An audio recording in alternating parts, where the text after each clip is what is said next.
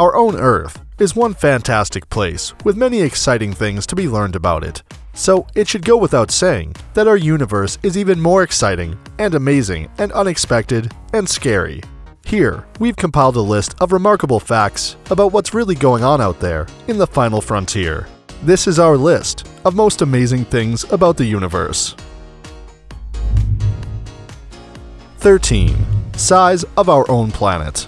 While we all live on Earth, and basically everything we've ever known is based here, our planet is pretty small.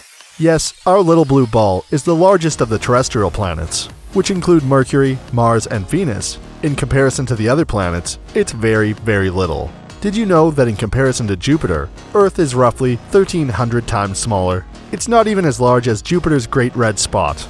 If we all lived there, we wouldn't have a population problem at all, or maybe we would multiply more. With Earth's current population hovering right around 8 billion, if we filled up Jupiter the way we filled up our own tiny planet, it would have a population of about 10.4 trillion. But that would be impossible, considering the planet is mostly gas. 12. Communication signals. You know how when astronauts are in space, they need to have a radio signal to keep in contact with us? Well, those signals aren't very strong at all. In fact, the power they exert is comparable to that of a light bulb in a refrigerator. The power they send off is so minuscule that by the time they reach Earth, they measure at about a billionth of a billionth of one watt. That's right, no super powerful, massively intense radio signals are used, nor are they needed when we need to communicate with spacecraft in outer space. But these signals take time to reach us. Radio signals from Voyager 1 take about 19 hours to get back to us, and signals from Voyager 2 take roughly 16 hours. Crazy. 11. A very light planet. If we were able to build a bathtub large enough to put planets in, most would sink or be semi buoyant. But there's one planet that would float on the water's surface, and that planet is Saturn. This is because Saturn is the only planet in the solar system that happens to be less dense than the liquid water on Earth. Why is the density so low? Well, considering it is the second largest planet in the solar system, you'd think it would sink like a stone. But it doesn't because it's not made of stone. Not even close. Saturn is made up of mostly gas. It has slight traces of ammonia and methane, but not much. It's mostly hydrogen and helium. The gas giant is 94% hydrogen and 6% helium, and because of this, it would act like one big rubber ducky on the surface of Earth water in a supermassive bathtub. 10. Super fast. Our Earth is always in motion. Whether you consider its own rotation or how it travels around the Sun, Earth moves at about 67 miles per hour as it makes its revolution, which sounds almost unbelievably fast, right? Guess what? Mercury, the planet named for its super fast messenger god of the Romans, travels at approximately 107,000 miles per hour as it zips around the Sun. That's a whole 40,000 miles per hour faster than our planet. Considering a planet's year is determined by how long it takes to complete a revolution around the Sun, it only takes 88 Earth days for Mercury to complete one of its years. If we traveled that fast, we'd probably be thrown and held against the ground like one of those crazy carnival rides. 9. Ceres.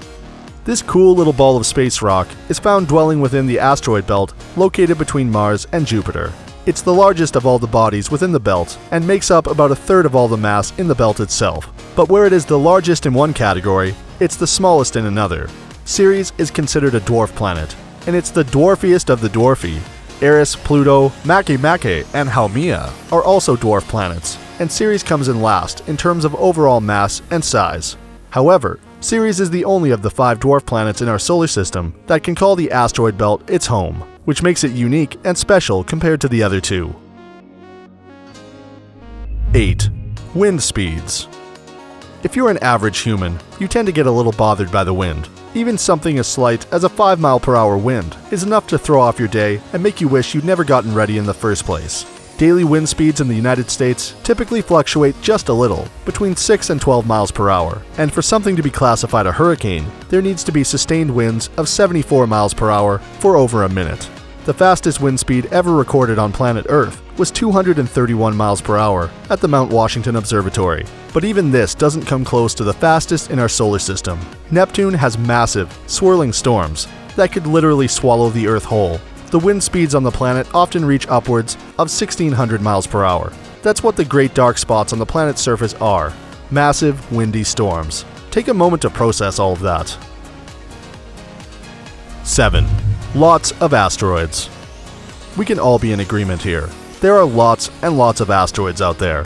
In our solar system alone, there's enough asteroids to make up a giant asteroid belt between Mars and Jupiter. But did you know, even if we could combine all the asteroids together, their mass would still be less than 10% of the mass of our moon? Despite being nearly uncountable amounts of the space rocks, they wouldn't add up to be very big in one large mass, and our moon is pretty small in comparison to the planets. 6. Weird Planet Let's talk about Venus for just a second, shall we? Our days are measured out at 24 hours long, and our years last for 365 days, right? Well, it takes about 243 Earth days just for Venus to make one full rotation. Planets rotate at different speeds, and a full rotation is what makes a day on any given planet. And since a year on a planet is calculated by how long it takes said planet to make a full rotation around the Sun, Venus is a little different. One Venus year, or one complete revolution around the Sun, takes just 225 Earth days. This means that Venus's days are longer than its years. Can you imagine what things would be like if that were the case on Earth? 5. Gravity. We all know that we have lived with the forces of gravity bearing down on us from the moment of our conception until now. That is, unless you're an astronaut or something. But in outer space, there is no gravity. There is on other planets, and it may be stronger or weaker depending on which planet you're on. Take Mars for example. If you were to travel to Mars, chances are you'd be able to jump much higher than you can here. The reason for that is because Mars' gravitational pull is approximately a third of that on Earth. If this were Star Wars, every planet you'd visit would have a different gravity, thus the effect of it would be different. On some planets, we'd be able to jump onto buildings. On others, we probably wouldn't be able to move. The moon's gravity is about one-sixth of Earth's, which is why when you see footage from previous NASA missions, the astronauts sort of bounce around. Crazy cool stuff. 4. Gigantic Canyon When you think of a massive canyon, what do you think of? The Grand Canyon? The Yarlung Tsangpo Grand Canyon? Well, there's a canyon on Mars called Valles Marineris that measures more than 3,000 miles long. Now, for reference, the Grand Canyon runs for just 277 miles, which is still huge and the Yarlung Tsangpo Grand Canyon measures 150 miles in length. That means that this one giant canyon on the surface of Mars is about 10.3 times as long as the Grand Canyon and 20 times the size of Yarlung. The canyon is believed to be a very large tectonic crack and that it's been widened over time by erosion. It's also only 2,441 miles from New York to California, which just goes to show you that the Valles Marineris is absolutely incredibly enormous. 3. Holy hotness. Global warming is and has been a significant concern on our planet for some time now, with temperatures steadily rising and our ice caps melting. But that's all stuff that we're sure you already know. The average temperature here on Earth in 2013 was 58.3 degrees Fahrenheit. Death Valley in California is known for extreme temperatures, but did you know that during its hottest month, July, high temperatures averaged just 116 degrees Fahrenheit that's nothing compared to places like Mercury or Venus. Temperatures on the day side of Mercury average about 800 degrees Fahrenheit on the daily. Average temperatures on Venus, the next closest planet to the Sun, are about 900 degrees Fahrenheit.